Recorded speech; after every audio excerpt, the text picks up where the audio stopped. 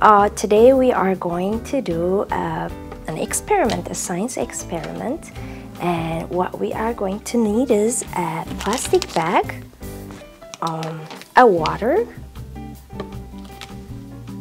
food coloring, and a sharpened pencil or coloring pencil. So, and I added some uh, goldfish.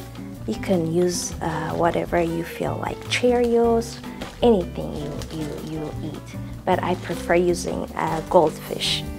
So, um, so what I'm going to do is I will open the plastic bag.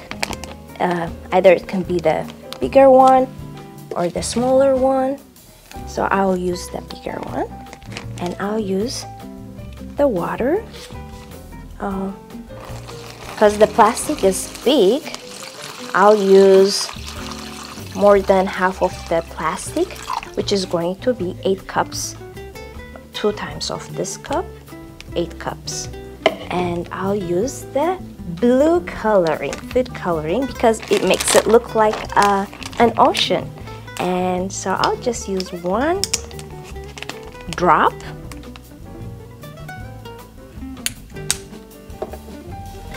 then we are going to mix it.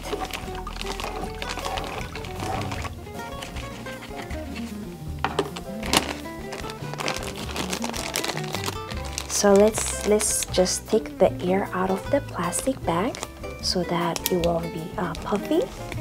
And before I close it I'll use some of my goldfish inside. You can use handful you can use as many as you want but I like them to look like my fish. So um, I'll use many fishes gold fishes. we seal it.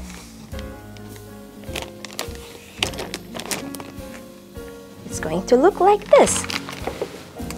So um, this is the fun part. So what we're gonna do is we're gonna use the sharpened pencil and we're gonna poke it through and let's see what's going to happen. Do you think the water is gonna leak or not? Let's see. One, two, three. Whoops.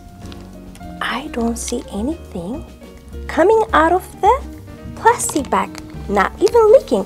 Why don't we try another one? Okay friends, so we did the blue color and why don't we try with another color which is going to be the same procedure. And what we do is we put we use another plastic bag and then we use the water like previous one and then um, I choose a yellow color. So I pick the food coloring yellow and let's drop one or two and then we mix it. Let the air out again. We seal it. Really good. So it's going to look like this. This time I didn't add any ingredients like goldfish or Cheerios. It's just the color the water and the yellow food coloring. And I'm gonna pick the pencil, the sharpened pencil or the coloring pencil, and I'm gonna pocket. You ready? I'm ready. One, two, three. You see? Nothing comes out of it. So, um, why did the plastic that we put the pencil through didn't leak? Why do you think? I'll tell you why.